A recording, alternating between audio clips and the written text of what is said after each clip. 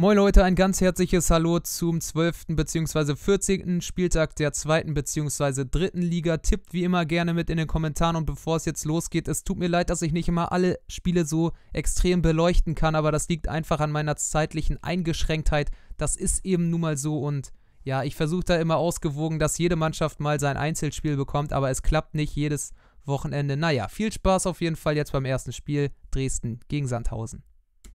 Schauen wir auf die erste Freitagabendpartie. Das ist Dynamo Dresden gegen den SV Sandhausen. Beide konnten zuletzt unentschieden spielen. Sandhausen spektakulär beim 3:3 gegen den SC Paderborn. Aber auch wichtig der Punkt von Dresden bei den Eisernen bei Union Berlin. Eine spielstarke Mannschaft, dem man da einen Punkt abtrotzen konnte. Schauen wir hier kurz auf die Tore der Partie. Und zwar ging es da bereits los in der fünften Spielminute. Foul-Elfmeter für Dynamo Dresden. Musa Kone nahm sich der Sache an und hämmerte den Ball rein. Keine Chance, den zu parieren. Und es gab nur wenig später in der 15. Minute das 2 zu 0. Rico Benatelli für Dynamo Dresden. Also zwei frühe Tore für die Gastgeber, die diese Partie dann auch entschieden. Es kam nichts mehr von dem SV Sandhausen. Die machten keine schlechte Partie, aber zu wenig Akzente nach vorne. Und dieser frühe Doppelschlag der Dresdner brachte sie dann im Endeffekt auch zur Strecke.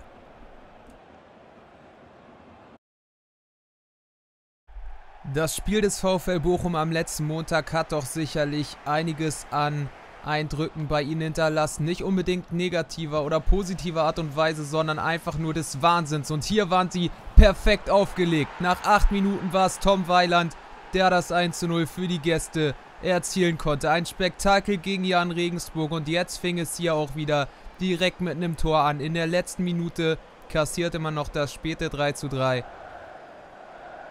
Und die Elf von Robin Dutt war dann bedient. Auch wenn es dabei sehr viele unstrittige Szenen gab. Der ein oder andere Elfmeter war doch sicherlich diskussionswürdig. Aber man ließ sich davon nicht irritieren. Hatte jetzt auch nur drei Tage Pause. Aber konnte scheinbar die richtigen Worte finden. Jetzt aber eine gute halbe Stunde gespielt und Julian Green muss in dieser Szene knapp 10 Minuten vor der Pause das 1 zu 1 machen. Eine Riesenmöglichkeit. Alleinstehend vor Manuel Riemann und er zieht den vorbei. Das muss es einfach sein. Solche Chancen darf man nicht vergeben. Der zweite Durchgang war dann sehr zäh und der VfL Bochum wollte jetzt so langsam die Entscheidung, aber sie gelang ihm noch nicht. 10 Minuten jetzt noch zu spielen. Wieder der VfL Kräuter Fürth fiel nicht mehr viel ein. Sie standen vorne rum und auch hinten waren sie richtig unsicher. Da ist Pertel Burchardt mit der Parade gegen Hinterseher und Weiland staubt ab. 81. Spielminute, die Partie war entschieden, weil Kräuter Fürth einfach zu wenig nach vorne einfiel und jetzt der VfL Bochum sich endlich mal belohnen konnte. Erst ist das noch von Burchardt sehr stark reagiert, dann ist er aber im zweiten Fall komplett aus der Schuld zu nehmen, da er eben schon geschlagen war. Kräuter Fürth wachte hier spät auf, aber auch zu spät. Guga nicht nochmal mit der Möglichkeit, 85. Minute, aber Manuel Riemann hielt die Null fest. Auch endlich dann mal ein Spiel ohne Gegentor für ihn wird sicherlich sehr gut für die Seele sein. Kräuter Fürth verliert verdient zu Hause 0 zu 2 gegen den VfL Bochum der sich von dem Schock gegen Regensburg am Montagabend doch schnell erholen konnte. Holstein Kiel konnte bei den gut aufgelegten St. Paulianern zuletzt 1 zu 0 gewinnen und zwar am letzten Sonntag. Jetzt kam der FC Ingolstadt. Die sind nicht so gut in der Saison und trotzdem spielte Kiel sehr konzentriert, sehr demütig und der FC Ingolstadt musste nach dem 1:1 gegen Duisburg feststellen, es geht in dieser Saison sicherlich nur darum, die Klasse irgendwie zu halten. Und Holstein Kiel war hier die klar bessere Mannschaft. Vor eigenem Publikum, sowieso immer nur vor Selbstvertrauen strotzend. Hier hätte es schon lange 1-2-0 stehen können, vielleicht sogar müssen. Halbe Stunde jetzt von der Uhr, das ist ein guter Ball von Meffert auf Kin Zombie, der kam nicht aus dem Abseits und macht das 1-0. Drittes Saisontor für den Mittelfeldmann der Kieler Störche und das hochverdiente 1 zu 0 für Holstein Kiel. Der FC Ingolstadt am letzten Tabellenplatz festklebend kam hier auch überhaupt nicht in diese Partie rein und war über eine halbe Stunde in dieser Partie ohne einen einzigen Torschuss. Dann warten sie tatsächlich mal vor der Pause noch auf Kerschbaumer mit dem Ball auf Paul Otavio, aber der Schuss dann doch recht deutlich am Kasten vorbei. So schlecht war er nicht, aber sonst wäre Kronholm auch eventuell zur Stelle gewesen. Okay, weit am Tor vorbei, war sicherlich etwas übertrieben in dieser Situation, aber trotzdem eben am Gehäuse vorbei. Die nächste Möglichkeit im zweiten Durchgang gehörte dann wieder den Kielern, aber Philipp Herrwagen konnte sich erstmal auf den Ball schmeißen. Trotzdem ging es weiter. Der FC Ingolstadt nahm nicht wirklich viel mit von der Aktion vor der Pause und sie hatten Glück, dass hier nicht das 2, 3 und 4-0 fiel. Trotzdem nochmal Kiel, nochmal die Möglichkeit. Schindler mit der letzten Möglichkeit der Partie, aber es brannte nichts mehr an. Eine schwache Partie der Ingolstädter, die zu Recht mal wieder verloren geht. Holstein Kiel gewinnt durch das Tor von Kinzombie mit 1 zu 0. Es hätte deutlich höher ausgehen können und trotzdem werden sie damit sicherlich sehr gut leben können. Der MSV Duisburg möchte jetzt unter Thorsten Lieberknecht den ersten Heimsieg einfahren. Bislang wurde man zu Hause immer geschlagen. In allen Partien, die man hier in der Schau ins Land Reisen Arena absolviert. Jetzt kam der RC Paderborn zuletzt 3 zu 3 gegen Sandhausen. Hier offensiv fühlt sich gar nicht mal so verkehrt. Bumheuer macht es da fast selber gefährlich für seine eigene Elf. Trotzdem waren die Fans auf beiden Seiten zufrieden, auch wenn die Anfangsphase nicht viele Möglichkeiten zu bieten hatte. Viertelstunde jetzt etwa gespielt. Fröde auf Jani Regersel. Jani Regersel macht da deutlich zu wenig draus aus dieser Aktion. Klar, es ist der spitze Winkel und trotzdem geht er deutlich am Kasten vorbei. Der muss zumindest in die Nähe des Tores gehen. Jetzt dieser Ball von Wolzer auf Boris Taschi und dann doch das 1 zu 0 vor der Pause für den MSV. Boris Taschi trifft den Ball perfekt und fünf Minuten vor der Pause ist dann Leopold Zingerle ohne eine Abwehrmöglichkeit. Und der MSV will jetzt endlich zum zweiten Mal in der Saison gewinnen nachdem es beim Einstand von Lieberknecht gegen den ersten FC Köln noch geklappt hatte, möchte man jetzt eben die ersten drei Punkte auch zu Hause einfahren. Aber der SC Paderborn ist eben auch nicht irgendeine Mannschaft. Immer gefährlich, immer torgefährlich. Jasula, Traumtor. Ecke von Clement, Klaus Jasula mit dem Volley, 66. Der Ausgleich war geschafft und das war jetzt auch verdient. Im zweiten Durchgang waren die Gäste deutlich besser und spielstärker. Direktabnahme ist auch irgendwie ein bisschen Schienbein dabei vom Mann mit dem Helm, aber trotzdem ist für Mesenhöhler nichts zu halten. Und Paderborn hätte hier sogar noch die Möglichkeit, die Partie komplett zu drehen. T-Partei legt zurück auf Philipp Clement. Aber der Ball ging dann doch am Kasten vorbei. Und das war dann auch die letzte Aktion. Viel Spaß, viel Spielunterhaltung bot diese Partie im zweiten Durchgang nicht mehr. Deswegen geht dieses 1:1 auch in Ordnung und Duisburg muss weiter auf den ersten Saisonheimsieg warten. Durch den Sieg der Darmstädter gegen Kräuter Fürth konnten sie sich etwas Luft unten im Abstiegskampf verschaffen. Jetzt kam der erste FC Magdeburg, der da mittendrin steckt und die hatten zuletzt auch 0 zu 1 gegen den HSV verloren und sollten jetzt mal wieder drei Punkte einfahren. Es hatte bislang erst einmal in dieser Saison geklappt. Aber Darmstadt war hier erstmal besser. Möglichkeit von Dosun, aber von Brunst ohne Probleme abgefangen. Jetzt zwölf Minuten von der Uhr und wieder Darmstadt. Rieder auf Marcel Heller. Die Flanke auf den zweiten Pfosten, aber Butzen passte auf. Und verhinderte auch so, dass hier eine Möglichkeit entstand. Richtig viele Tormöglichkeiten gab es nicht. Wir sind in der 45. Minute nochmal. Magdeburg Butzen legt den Ball auf Backup aber Dursun ist dazwischen und Fernandes vergräbt den Ball dann unter sich und dann war auch Halbzeit. Also richtig unterhaltsam war diese Bundesliga-Partie nicht, sodass es wieder ein Standard sein musste. In der zweiten Halbzeit, der zur ersten Chance führte, Türpitz richtig unglücklich, dass der sich nur auf die Latte setzte. Es war ein klasse Freistoß, der den Treffer auch verdient gehabt hätte, aber Heuer Fernandes wäre sonst wohl auch in Eck gewesen. Aber Magdeburg wurde stärker. Zulu kriegt den Ball nicht richtig geklärt. Kostli, roter, Türpitz wieder. Das ist wieder Kostli. Dann liegt nochmal auf Beck.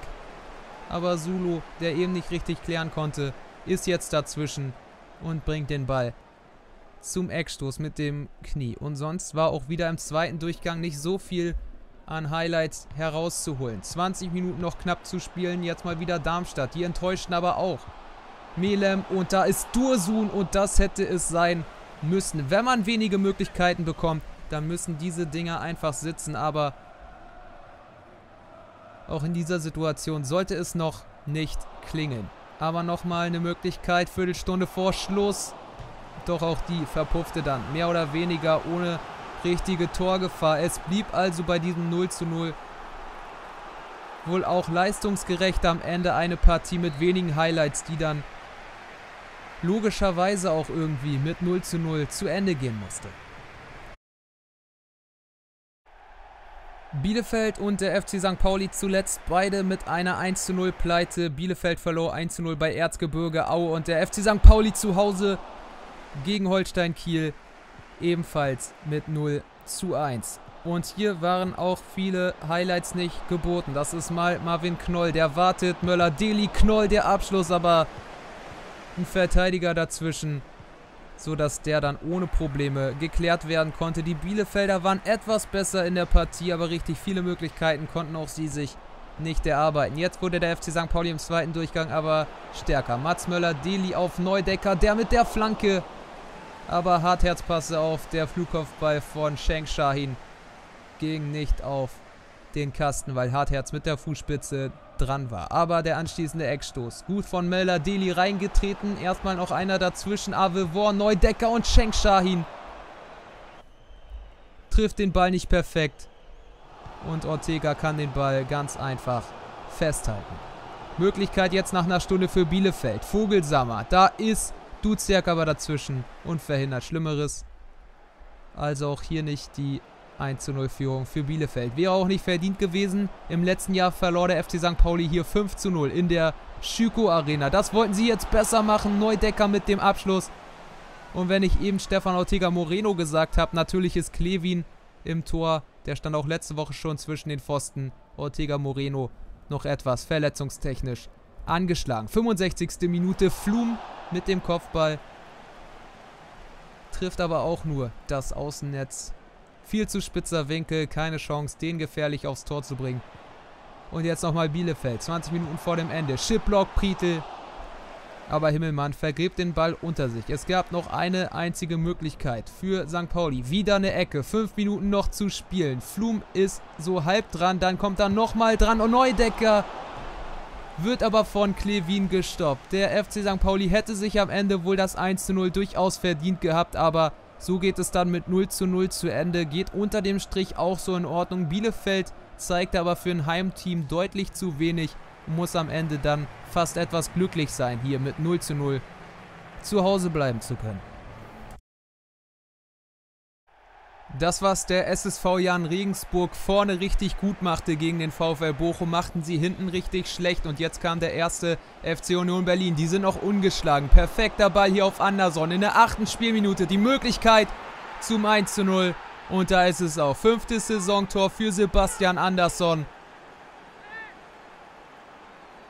Und Union Berlin möchte jetzt den fünften Saisonsieg endlich einfahren. Siebenmal hatte man schon unentschieden gespielt. Das möchte man jetzt gegen Regensburg vermeiden. Und Gikiewicz tat da erstmal seinen Dienst gut zu bei. Zwölf Spielminuten von der Uhr.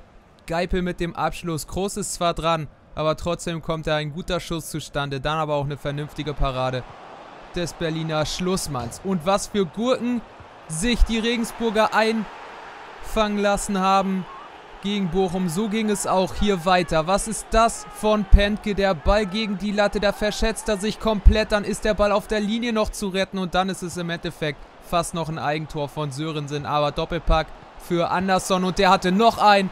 Keine halbe Stunde gespielt. Lupenreiner Hattrick für den Mittelstürmer der Eisernen. Keine Chance für Pentke. Perfekt getroffen. Jetzt aber mal Regensburg wieder auf dem Weg nach vorne. Und auch Union Berlin kann Fehler. Und was sind das für Megaböcke? Dann ist es kein Wunder, dass so viele Tore fallen. Marco Grüttner mit dem 1 zu 3. Und die Frage war, konnte Regensburg noch verkürzen vor der Pause? Adamian! Aber Gikiewicz ist dazwischen und hält den Ball ganz sicher fest. Zweiter Durchgang, jetzt wurde Union Berlin wieder aufmerksamer und wollte alles klar machen. Prömel auf Akaki. Gogia, der fackelt nicht lange rum und macht das 4 zu 1. Damit war auch alles entschieden. Was für eine Partie und schon wieder etliche Gegentore für den SSV hier an Regensburg. Schon über 20 jetzt kassiert. Und es kam noch schlimmer. 56. Minute Felix Groß, zweites Saisontor für ihn. Per Kopf auch noch.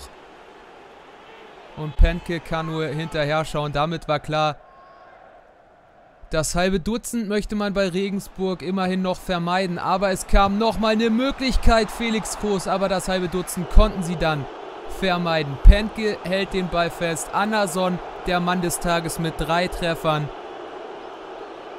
Und somit gewinnt der erste FC Union Berlin absolut verdient beim SSV Jan Regensburg mit sage und schreibe 5 zu 1.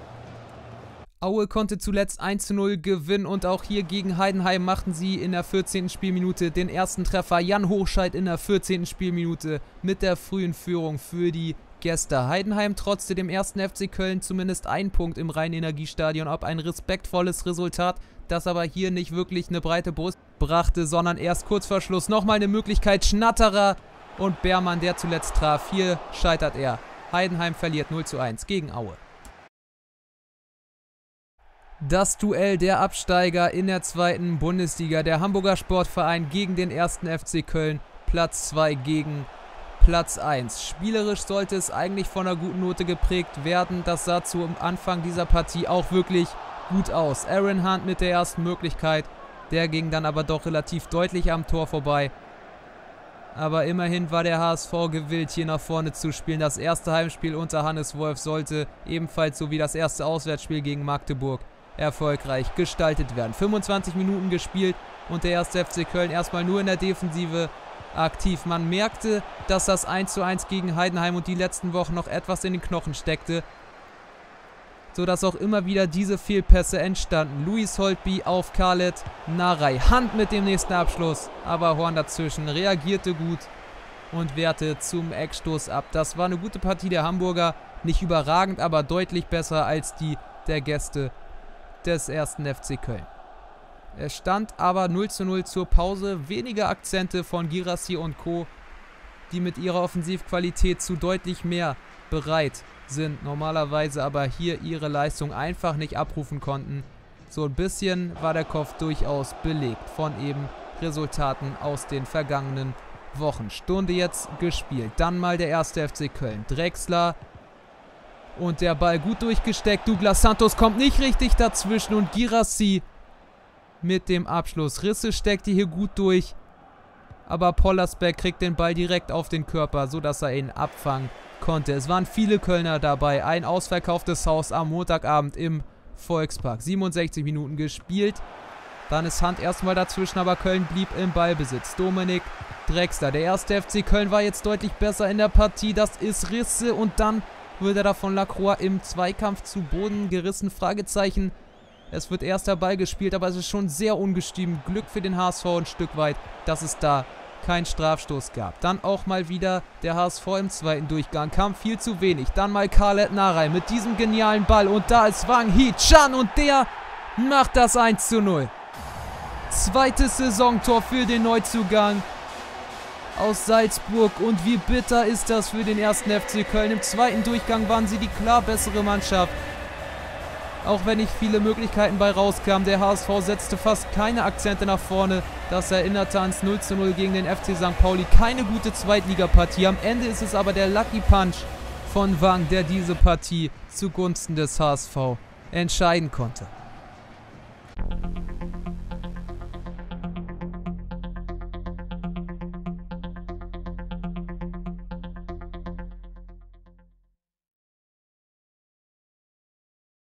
Der erste FC Kaiserslautern konnte zuletzt am Montagabend ein 2 zu 1 beim VfR Aalen einfahren. Jetzt kam aber der FC Energie Cottbus und die konnten zuletzt zu Hause gegen Jena einen Dreier einfangen und sie hatten dann auch hier erstmal Oberwasser. Hesel muss hier nach 16 Minuten eingreifen. Starker Freistoß von Marcelo Freitas, der schon verdient gehabt hätte einzuschlagen, aber tolle Reaktion von Hesel, der schnell genug unten ist. Der anschließende Eckstoß bringt ebenfalls Gefahr. Kraus an die Latte. Marcelo Freitas. Im Fallen kriegt er den Ball nicht mehr richtig kontrolliert. Und dann geht er knapp über das Gehäuse hinweg. Viel Glück in dieser Situation für den FC Kaiserslautern. Die wachten dann auch mal auf. Keine halbe Stunde von der Uhr. Aber Spahic musste erst nach 27 Minuten knapp das erstmal wirklich eingreifen. Thiele mit der Möglichkeit, schön auch vorbereitet hier mit der Hacke, aber es führte nicht zum Tor. Jetzt wurden die Roten Teufel aber stärker im zweiten Durchgang. Timmy Thiele mit dem 1 zu 0. Drittes Saisontor für den Lauterer Stürmer. Und mittlerweile war das auch verdient. Die Anfangsphase der Cottbusser war richtig stark. Dann zogen sie sich mehr und mehr zurück. Das führte sich jetzt auch so im zweiten Durchgang fort. Und in der 57. Minute steht es dann 1 zu 0 für den FCK. Und sie drückten jetzt weiter. 20 Minuten noch zu spielen. Sie wollten die Entscheidung. Das ist Schad von Timmy Thiele bedient. Schad auf Thiele und was für eine Parade von Aftos Bahic. Richtig klasse gehalten. Der machte einen überragenden Job an diesem Abend. Es hätte jetzt wirklich bitter für Cottbus werden können. Es stand aber nur 1 zu 0, sodass auch nach hinten theoretisch noch alles offen gewesen wäre für Kaiserslautern. Und trotzdem spielten sie weiterhin gut nach vorne, ließen die Gegenspieler gar nicht so weit nach vorne kommen, dass sie hinten in der Verteidigung unter Druck kamen und so die nächste Möglichkeit kurz vor dem Ende. Jetzt ein Fehler von Weidlich und Matuvila kriegt den Ball auch nicht geklärt und Timmy Thiele macht das Ding dann zu. 89. Spielminute, das 2 zu 0 für den ersten FC Kaiserslautern. Doppelpack für Thiele, das wird ihm auch gut tun. Und so kann der Betzenberg mal wieder beben. Das Fritz-Walter-Stadion war sehr zufrieden mit diesem Auftritt der Mannschaft. Nach schwächlicher Anfangsphase konnten sie dann doch ihr Spiel aufs Feld bringen. Und so gewinnt zum Auftakt des 14. Spieltages der erste FCK mit 2 zu 0. Der SC Preußen Münster ist richtig gut in der Saison, ist auf dem zweiten Tabellenrang und hatte jetzt den TSV 1860 München zu Gast, die zuletzt beim 2 zu 2 gegen Groß Asbach eher zwei Punkte verschenken, auch wenn sie kurz vor Schluss noch ausgleichen konnten. Über eine halbe Stunde hier schon gespielt, dann Sascha Mölders mal mit dem Abschluss.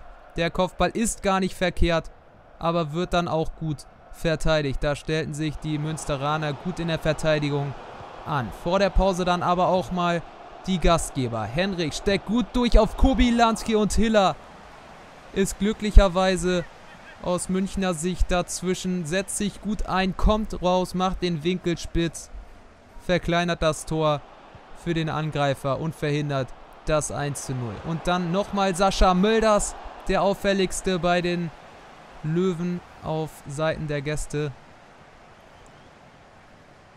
Dieser Schlenzer nicht verkehrt, aber eben auch am Kasten von Schulze Nihus vorbei. Zweiter Durchgang, dann Preußen Münster mal mit dem nächsten Angriff. Heinrich über die linke Seite. Gute Körpertäuschung, da ist Dadaschow und 1-0 für Preußen Münster. Siebtes Saisontor für Rufat Dadaschow. Und der kalte, bitterkalte Kurs für 1860 München. 57. Und die Löwen, die im Mittelfeld stehen aktuell, würden gerne mit einem Sieg hier den Anschluss halten, den Abstand nach oben zu verkürzen wäre sehr wichtig. Jetzt würde der Vorsprung von Münster auf 60, München auf 11 Punkte heransteigen. Aber es war ja noch genug Zeit und die Löwen wollten es. Halbe Stunde knapp noch auf der Uhr. Beki Rolu mit Mölders im Zusammenspiel. Wieder Sascha Mölders mit dem Abschluss und der fliegt haarscharf am Winkel vorbei. Was für ein Schuss. Super Aktion. Und das Unentschieden wäre jetzt schon verdient gewesen. Es sollte bis dato nicht fallen. Wir sind in der Nachspielzeit. Nochmal die Löwen. Mölders mit dem Ball auf Nico Kaga. Und der Ausgleich in der Nachspielzeit. 92. Spielminute in allerletzte Sekunde retten die Löwen noch einen Punkt. Und das ist hochverdient. Zwar bitter für Münster durch dieses späte Ausgleichstor. Aber das ist zu fahrlässig verteidigt. 1 zu 1 am Ende geht das Spiel zwischen Preußen Münster und 1860 vorbei. Absolut verdient, dass sich die Gäste hier noch einen Punkt retten konnten.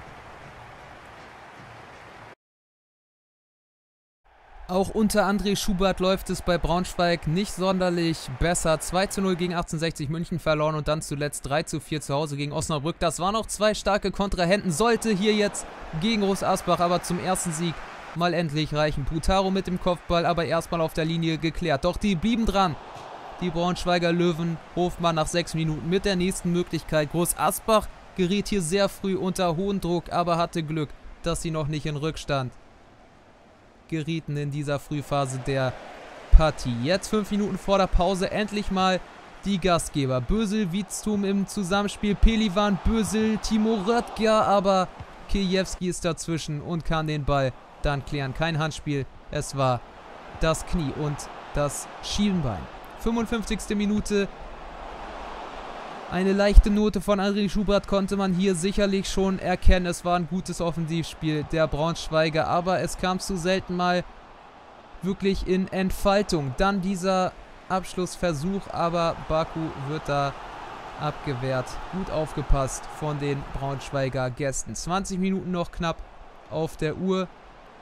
Beziehungsweise jetzt nicht mal mehr 20. Eine Viertelstunde noch und Bulut mit dieser missglückten Flanke. Es war die Partie zweier, ja, verunsicherter Mannschaften. Auch wenn Groß Asbach nicht ganz so schlecht dasteht wie Braunschweig waren sie hier noch schlechter. Aber Braunschweig konnte sich am Ende auch nicht belohnen. Es war tendenziell ein 0 zu 0 Spiel, das so dann auch im Endeffekt in Ordnung geht, auch wenn Braunschweig etwas besser war. Es reichte eben nicht zum ersten Sieg unter André Schubert. Bereits am letzten Wochenende konnten die Sportfreunde Lotte richtig überzeugen. Beim 2 zu 0 gegen den KfC Oerding setzten sie ein dickes Ausrufezeichen im Kampf um den Klassenerhalt. Der VfR Aalen verlor unglücklich 1 zu 2 gegen den ersten FC Kaiserslautern. Jaroslav Lindner machte das 1 zu 0. Dann Gerrit W. kam nach Strafstoß das zweite hier in der 37. Spielminute. Wovon der VfR Aalen sich aber nicht sonderlich beeindrucken ließ und in der 43. vor der Pause also noch zurückkam. Matthias Morris per Kopf auf dem zweiten Pfosten steigt am höchsten, setzt das Ding gut rein, setzt sich da eben auch vernünftig durch im Zweikampf und machte die Partie erstmal wieder spannend, aber lange hielt das nicht an. Zweiter Durchgang, 57. Spielminute. Jaroslav Lindner steht am zweiten Pfosten ebenfalls richtig, hält nur noch den Fuß hin, wo der Ball dann auch runterfällt.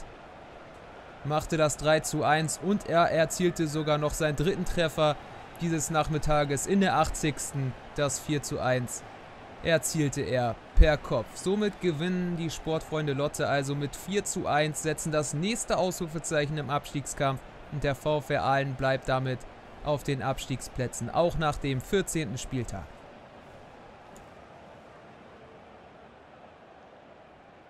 Nach dem souveränen 3 zu 1 gegen Fortuna Köln musste Hansa Rostock jetzt hier im Ostduell gegen Karl Zeiss Jena eine Niederlage hinnehmen. Kurz vor Schluss war es Matthias Kühne, der das Tor des Tages erzielen konnte. Super Direktabnahme, keine Chance für Gelios. Jena gewinnt gegen Rostock mit 1 zu 0. Die Spielvereinigung Unterhaching verliert aktuell zu viele Punkte über Unentschieden. Bereits achtmal spielten sie schon Remis und das nach 13 Spieltagen ist schon eine ziemlich hohe Quote, wenn man ganz oben mitspielen möchte. Der FSV Zwickau war hier aber nicht dazu bereit, sich zu weit zurückdrängen zu lassen. Spielten ebenso wie die Unterhachinger in der letzten Woche 0 zu 0. Sie spielten beim SVW in Wiesbaden eben torlos. Remi. 22. Minute, dann auch mal Unterhaching hier. Die favorisierte Mannschaft mit der ersten Möglichkeit. Dominik Stahl per Kopf am zweiten Pfosten. Steigt der Captain da hoch. Gar nicht so verkehrt gesetzt, dieser Kopfball, aber gut aufgepasst von Brinkis, der den Ball zum Eckstoß abwehren konnte. Und auch der wurde dann wieder gefährlich. Reingetreten auf den ersten Pfosten. Lauberbach, Barilla, Bonga bringen sich da selbst unter Bedrängnis und Christoph Greger in der 24. Spielminute bringt er die Gäste in Führung. Höchstens über Standardsituation in dieser Partie mal gefährlich gewesen und das wurde jetzt auch auf die Anzeigentafel umgesetzt. Der FSV Zwickau machte die bessere Partie und wurde jetzt hier bestraft, dass sie das hier nicht geklärt bekommen. Dreimal haben sie die Möglichkeit. Und Brinkis ist dann aber ohne Chance. In letzter Instanz. Kriegt die Arme nicht mehr schnell genug. Richtig. Hochgerissen. Zweite Halbzeit und die Zwickauer wurden wieder mutiger. Guter Ball auf die Außenseite. Könnecke mit der Flanke, die ist super. Kiyomozoglu macht es da selber für seinen eigenen Keeper gefährlich. Barilla brachte den Ball dann auch nochmal rauf. Der Ball war noch nicht drin. Klasse Rettungsaktion von Königshofer. Der Kopfball von Barilla dann aber am Kasten vorbei. Keine 20 Minuten mehr zu spielen. Der FSV Zwickau war drauf und dran, hier den Ausgleich zu erzielen. Das ist Tassus Bonge und da war jetzt auch der Ausgleich. 74. Minute, das hochverdiente 1 zu 1 für den FSV Zwickau. Das haben sie sich mit einer klasse Leistung auch verdient. Zu mehr reichte es jetzt am Ende nicht mehr als dieses 1 zu 1. Trotzdem eine super Partie, eine super Leistung, auf der man aufbauen kann und sicherlich auch noch viele Partien in Zukunft gewinnen wird. Unterhaching unter dem Strich müssen sie mit diesem 1 zu 1 leben können. Das neunte Unentschieden bereits in dieser Saison wird aber trotzdem die Bayern nicht so richtig zufrieden stimmen. Im Wildparkstadion empfing der KSC die Würzburger Kickers und beide können aktuell mit dem Tabellenstand nicht zufrieden sein. Sie stehen im Tabellenmittelfeld und das sollte sich doch bestenfalls nach oben erstmal korrigieren, die Tabellenposition. Und erstmal waren die Kickers hier die bessere Mannschaft. Baumann mit dem Abschluss, aber Ophoff ist in der kurzen Ecke und kratzt den Ball noch gerade so zum Eckball raus. Gute Anfangsphase der Würzburger Kickers, die sich aber dafür nicht belohnen konnten. 25 Minuten jetzt gespielt, dann der KSC. Fink im Zusammenspiel mit Groß. Das ist super gespielt. Ball auf den zweiten Pfosten, aber Patrick Göbel, der rechte Verteidiger der Kickers, passte auf. So richtig zufrieden waren die Karlsruher Fans nicht hier im Wildpark. Es stand 0 zu 0 zur Pause und die Großchancen blieben weitestgehend aus. Das sollte jetzt im zweiten Durchgang besser werden, aber auch da war erstmal Würzburg die bessere Mannschaft. Das ist Mast, wird nicht richtig angegriffen. Guter Ball auf Orhan Ademi. Aber wieder Ophoff, der in letzter Instanz retten muss. Für die etwas zu schläfrige Verteidigung.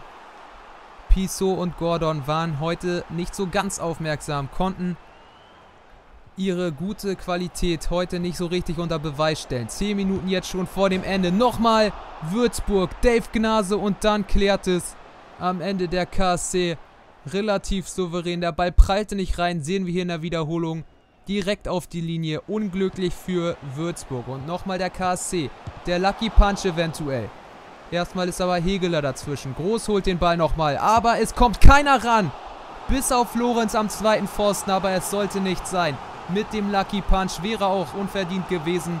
Trotzdem, der KSC hätte sich nicht darüber beschwert. Glück für Würzburg in der letzten Aktion doch nicht noch das 1 zu 0 kassiert zu haben. Das 0 zu 0 zwischen dem KSC und Würzburg geht im Endeffekt auch in Ordnung. Die zweite Hälfte wurde dann etwas besser, aber richtig Spaß hat diese Partie dann doch nicht gemacht.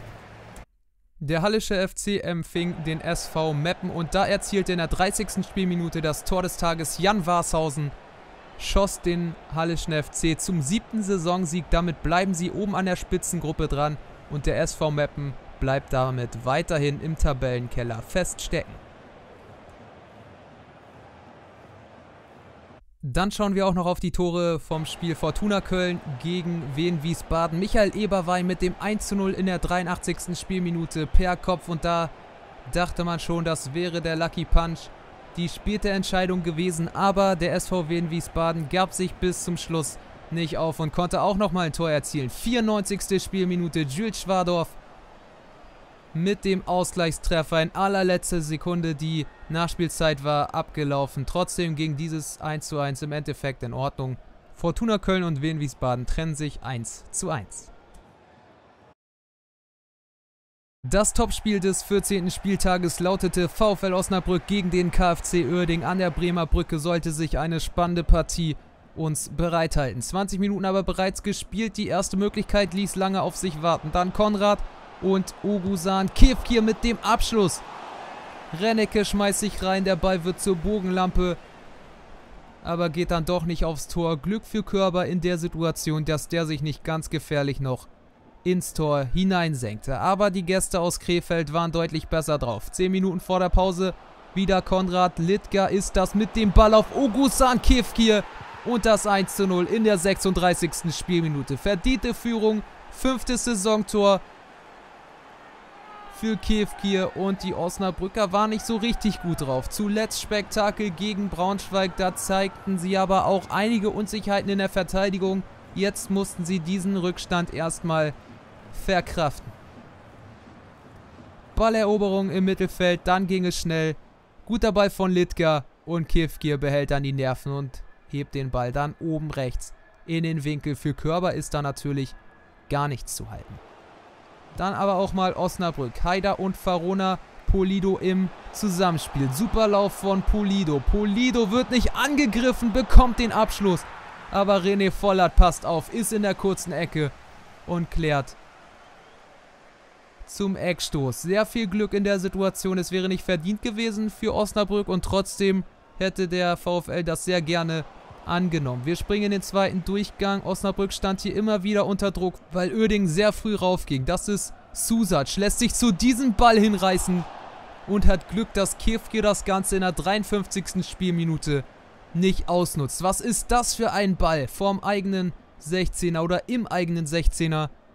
Aber es war nicht das 0 zu 2. Jetzt auch wieder Osnabrück über die rechte Seite. Die stärkste Phase. Alvarez erstmal Maro dazwischen. Haider mit dem Kopf bekommt dann aber kein Druck auf den Ball und so lief die Zeit davon und Oerding war immer wieder zu Nadelstichen bereit. Keine 20 Minuten mehr auf der Uhr. Litka über die rechte Außenseite, der Ball auf Stefan Eigner. Der bekommt die Flanke, der bekommt die Flanke und Litka läuft durch und macht das 2 zu 0. 75. Spielminute, das erste Saisontor für Maurice Litka. Und die Oerdinger nach der 0 zu 2 Pleite gegen Lotte waren jetzt ganz kurz davor, einen ganz wichtigen Sieg gegen einen Mitkonkurrenten um den Aufstieg hier festzumachen am 14. Spieltag. Aber Osnabrück gab sich nicht auf, wollte den Heimfans nochmal etwas bieten. 10 Minuten vor Ende. Rennecke mit der missglückten Flanke. Trotzdem Osnabrück am Ball. Uahim dazwischen. Großkreuz und dann ist das Agu, aber René Volland hat da nicht größere Probleme, den festzuhalten. Nochmal Osnabrück, Tafferzofer. Die Zeit lief davon. Alvarez und da ist nochmal Alvarez mit dem Abschluss. Es sollte einfach nicht mehr sein an diesem Montagabend. Osnabrück verliert 0 zu 2 zu Hause gegen den KfC Oerdingen in eine spektakuläre Partie war es jetzt nicht unbedingt, aber eine Spitzenpartie, die durchaus ihren Namen verdient gehabt hat. Oerding gewinnt mit 2 zu 0 an der Bremer Brücke. Jo, das war die Prognose zur zweiten und dritten Liga. Tippt wie immer gerne mit in den Kommentaren, würde mich auf jeden Fall interessieren. Ansonsten, ja, vielen Dank fürs Zuschauen. Lasst doch gerne ein Abo und einen Daumen nach oben da. Ja, vielen Dank und ja, bis zum nächsten Video und tschüss.